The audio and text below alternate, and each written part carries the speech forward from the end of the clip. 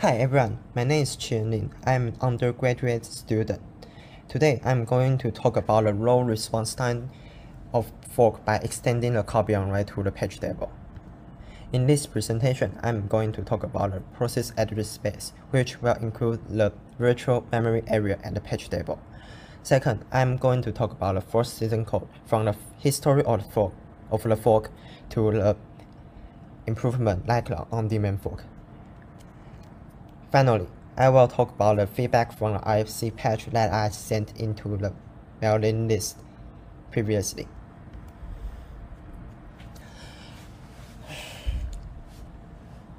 In the Linux kernel, the process is described by the task structure, and one of the members is the MM structure. It is the memory descriptor. The MM structure will store the memory information like the size of the reset page and the memory usage of the page table. And for the persist, for the persist, the, me the memory areas will describe to by the virtual memory area and it is stored the it is stored by mmap and mmrb fit in the mm structure. The persist page table is stored at the PGD member and as the physical and the physical memory you used is described by the structure page, which will reside in the page table. Each memory area is described by the VM area structure. A VM area structure is a part of process virtual memory space. It is continuous block of address space. The each v, uh, the each VMA will not overlap their virtual address range, and all the areas belongs to the same VMA has will have the same types. The VMA can become the anonymous memory or the mem memory map file, or either the device memory. There, some, there are some flags to statements the VMA, like the VM read or the VM write. It is indicates the those page may be write or read. And they have the flag like VMA read to allow the VMA read to allow VM read sits to the VMA, the corresponds VMA. The process uses linked lists to link the their VMAs which will stored by the starting address. It is a good way to travel the entire address space, and it also uses the red black tree to maintain it. And it although the kernel uses the virtual address for use for costing the log n times to search their VMAs. But the uh, but the wrap directory have some problems it is lets the developments to discuss to discuss to discuss the to discuss they have some patch to replace the wrap tree with the maple tree. Since the wrap tree does not have the since the wrap tree did not handle the lock list did not handle the lockless implementation to do the balanced operation, and the traversal is not the, the grass is not as good as you think. So here is the layout of a linked list sort of the VMAs. At first, we have seen that the task structure I mentioned before, and it the member of the MM will points to the MM structure, and the mmap member will point to the first node of the linked list of VMA. And each VMA will describe layer areas, which will be like the shared library or the data or the task. And you can use the process file system to get the information of the each areas.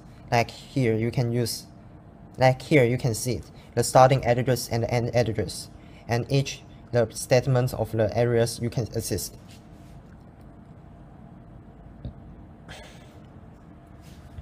On 64-bit architecture, there can be have 5-level fetch table to describe the patch to describe the virtual address in your process. Each level have their values the part of the virtual address to specify the layer index to indicate that the next level or the next physical patch where it is. And each patch table has 512 index with 8 bytes long value. It will store the next level's information.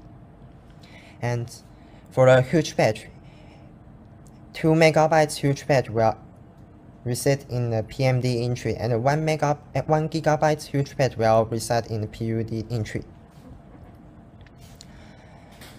Here is how you use the virtual address with patch table to travel out the physical memory where it is. At first, you use the MN structures member. Eh, At first, you use the PGD, which is the structure member, to get their own process page table. You will get the top level of page table, PGD, and use their part of the virtual address to offset get to use the offset function to get their index and point to, out to the next level. And at least in the lowest level PTE table, you can use the you can also use the offset to get the corresponding structure patch, which is describe the physical memory. And at least you can use the lowest 12 bits of the virtual address to get the triggers that the virtual address will indicate to get the object you want.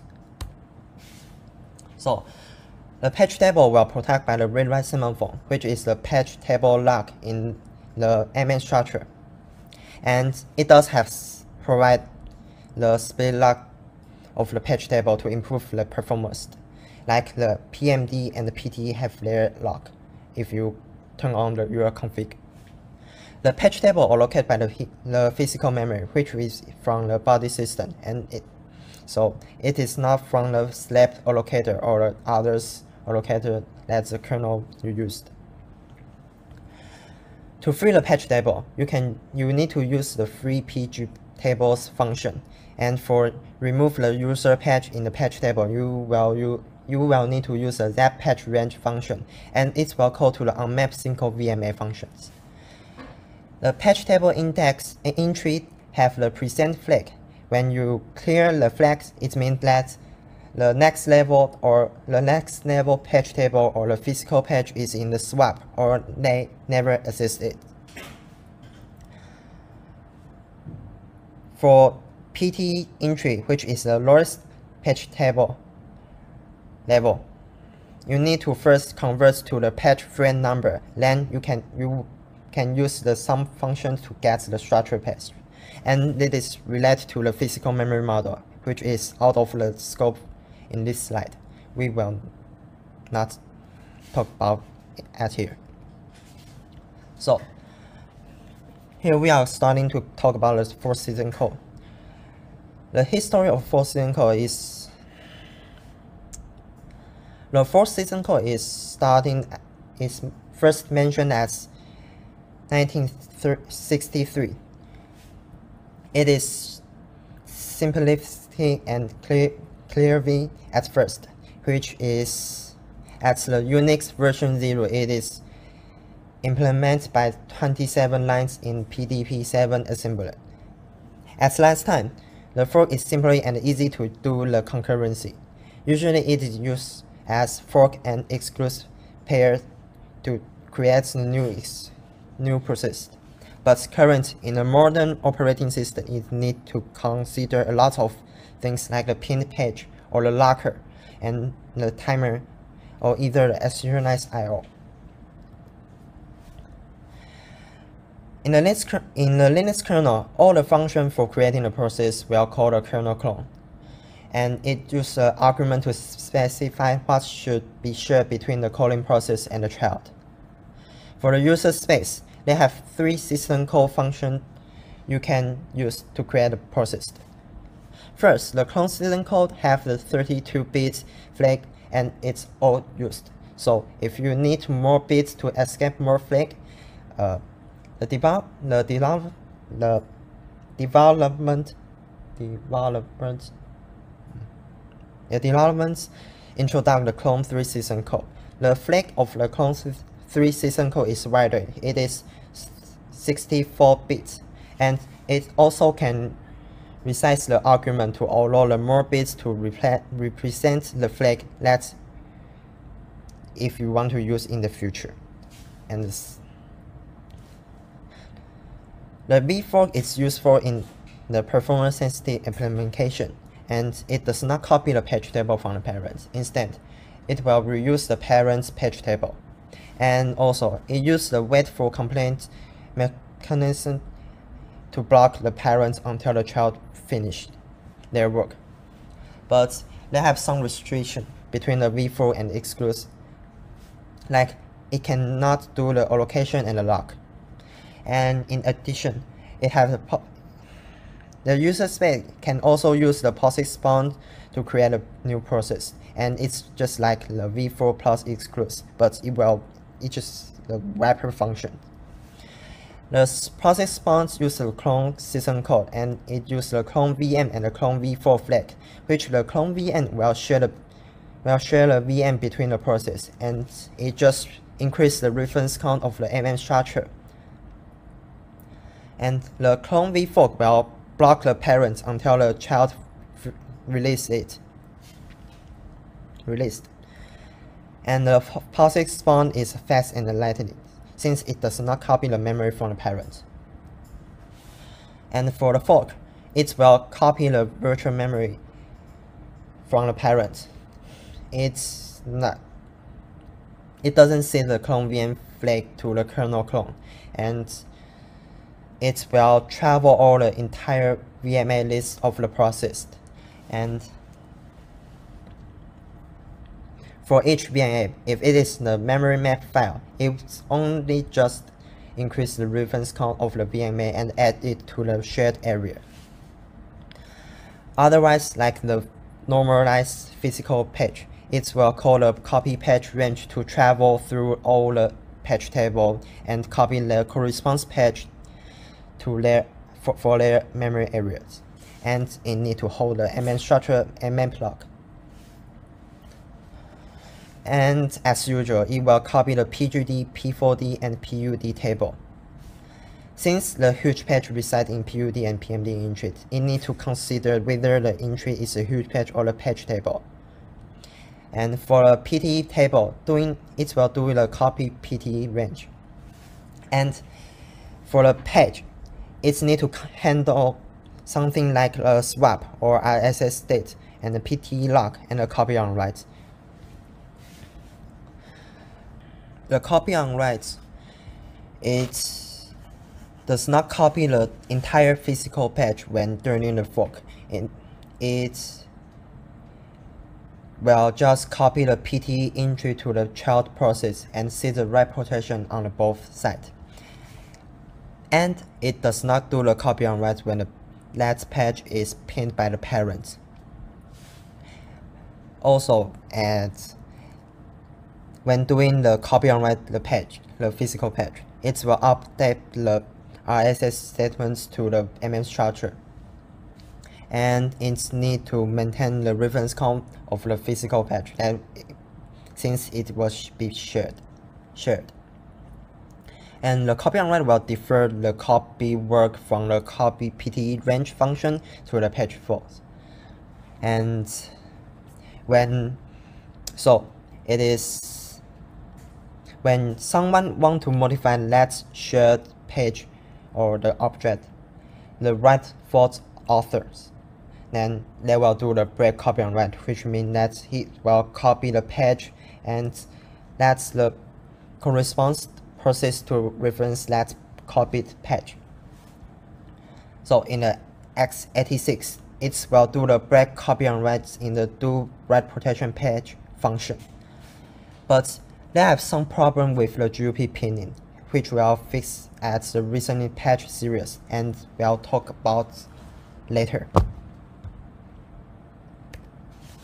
So the currently copy on write of the physical patch will be like this.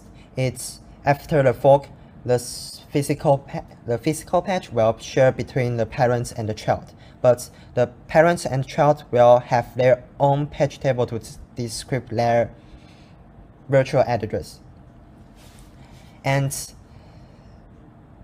here is something we can improve this. That we can expand the copy on write to the patch table to reduce the copy work during the fork and let the copy work to the patch fork, like the physical patch that do this before.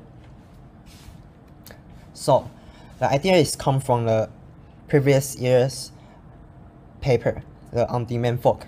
The on-demand fork is do the copy on write to the PTE table, which is the last level of the patch table, and it's it's and it does not do it on the shared or the BRK or the non-anonymous VMA.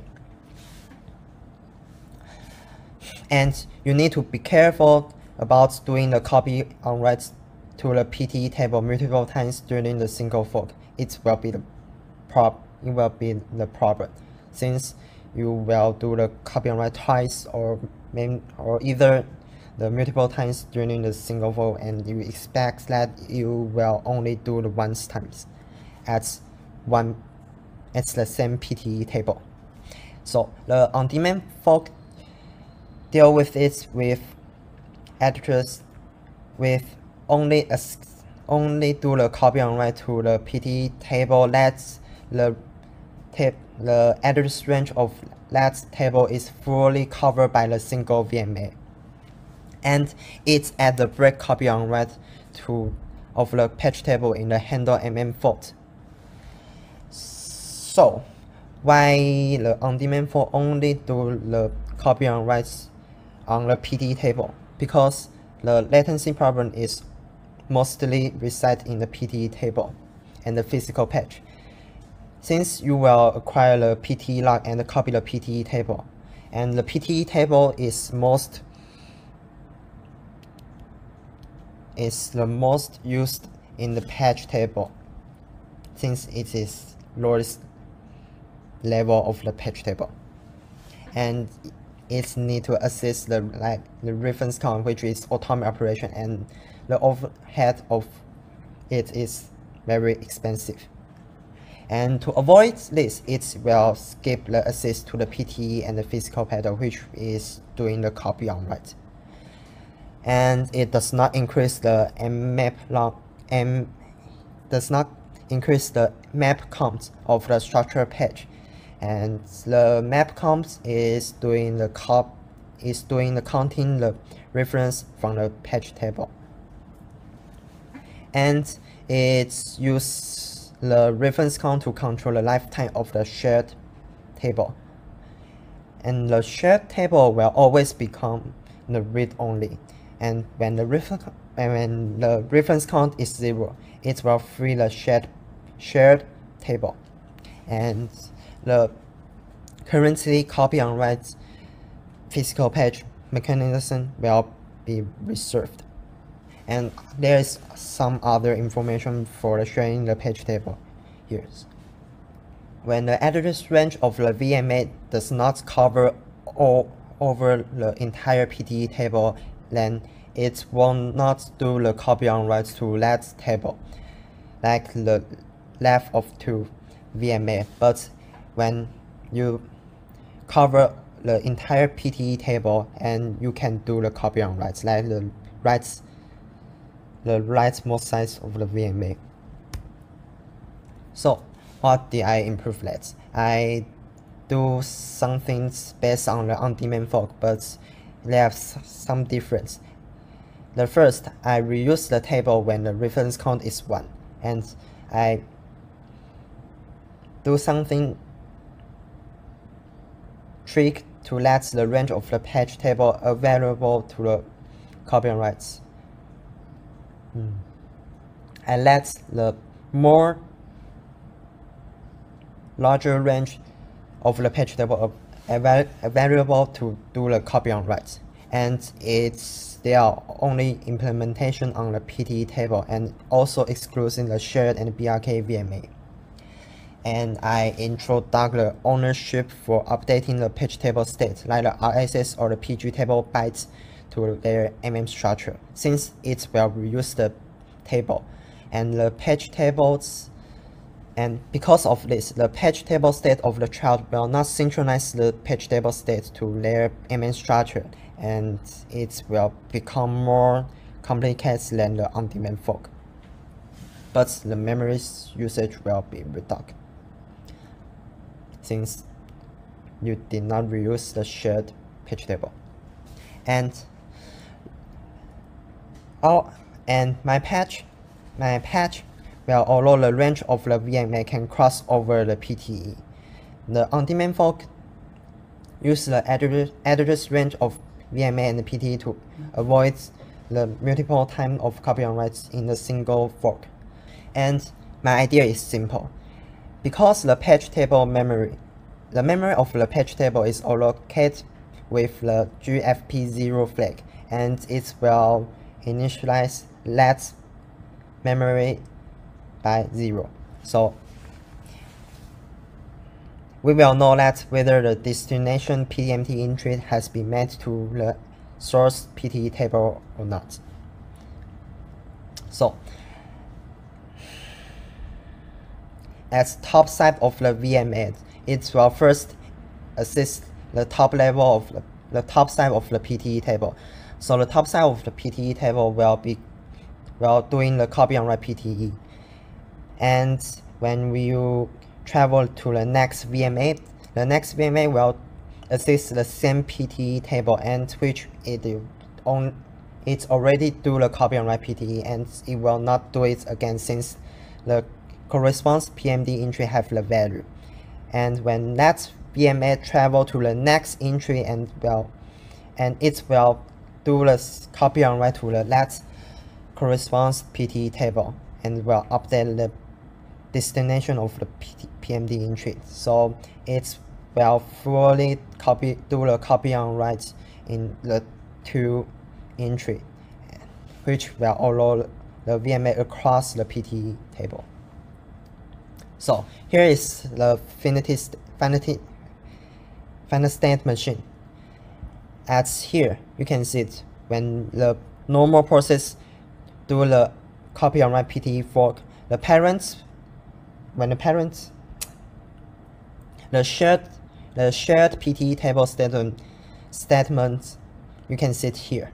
The reference count will become two and the owner will be will be the parents and the parents RSS that will can will have it and the child does not update it. And when the parents or the child fork and it will goes again to this statement.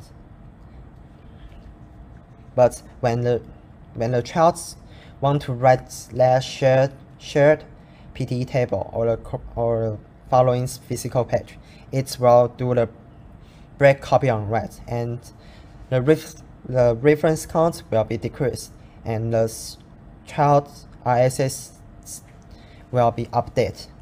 And after that, when the parents also writes it, the parents will reuse the shared page and will come back to the initialized state. Let's come back to come back to the shared statement. When the parents want to write to the shared PT copy, shared PTE table, it will release their his ownership and decrease the reference count. And it will the child the child RS, RSS, RSS statement will preserve since it does not know the parents do the right fault there. But when the child want to write that shared PT table, it will know that there does not have the owner and we will reuse that the shared copy copy on write PT table. But when the child want to fork, it will, the child will get the owner and the reference count will increase. and the child of the child, this RSS statement will not update again, since like the previously parent and child relationship, and it just loop again. So here is a benchmark of the 1 gigabyte mapping of the fork. The following information is from the process memory information. The total, the total memory usage is 32 gigabytes and the left side is the default fork. As you can see, the patch table memory usage will increase almost twice times. But when you use the copy PT, copy on write PTE, it will just increase only 100 kil kilobytes. And the performance. In my implementation, the that does not in, does not reduce the latency or increase the time. But from the on-demand fork, it does have the improvement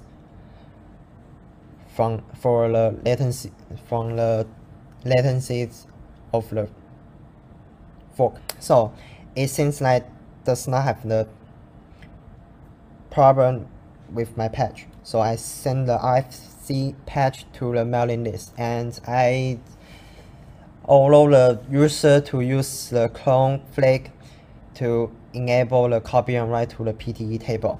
And here is I change here is the statements I change. And here's I get the feedback.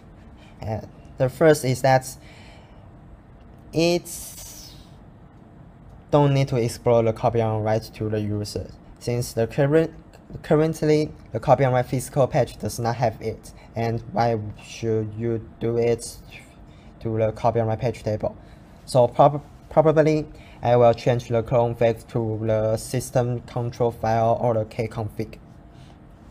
And second, its lack of use case. The developments are not confident yet. Since the 1 gigabyte mapping fork is not actually use case, it is too far from the real world. And even I provide the snapshotting of database use case from the on-demand fork, it still have, has a better choice like the userfaultfd reputations. And it will let the copy on write and fork implementation become more complicated. And they just have the bug of the copy on write physical patch with drooping pin, pinning and have been fixed recently. And the copy on write physical patch use the statement of the page table and the structure page to control it and now I just propose the copyright of the page table. So it's just more easily, uneasy easy. It's just make more complicated. So what does the drooping pinning do? The drooping pinning is the it just called a function like the get user page. It will pin pin the user page in the memory and it just do the map the user space memory to the kernel space. And it's pinned, by increase the reference count of the physical page. And since the copy and write and the droop is all their their implementation with the reference count it have some problem when they come together. So the currently copy and write implementation will skip the pinned page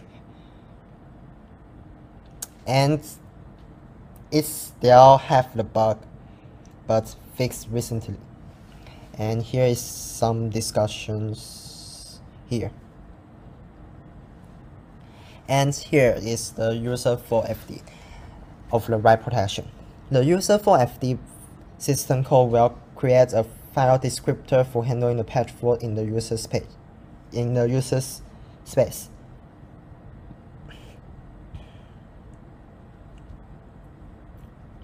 it will receive uh, the user space. The userfaultfd write protection will reduce the memory region with the list flag and it will receive the page fault notification when the protection page, page is written. And it is a better way of improve the snapshotting. Presently, the QEMU just already use it. And the Redis that I mentioned the before the slide that use the snapshotting of the database is tends to use this too and yeah. So when I make this slide I just saw the previous related discussion from the 2011 and the discussion's topic is that as the process size increased the fork performance will be plummet the the duplicates the duplicates the page table from the parents to the child will affect the fork performance and in 2018 18, a conclusion was come up and it's just use a POSIX spawns to avoid a copy page table. And it the POSIX spawns have some problem at the 2011 and it just fixed at amount of the 2018 so it can use right now. And it was the better choice when you want to avoid the copy word from the parent from the fork there's a, there's are still some other things need to deal with the copy on my page table like the interaction with the mapcount reference count and the statement of the anonymous page and the get user page I need to deal with it too. Also the swap page table walker and other stuff that I have listed in the following. So I just now I now I just have idea to fix the map count and the interactive with the anonymous page and the get user page and swap and the page walker but the following that's just still in the to-do list.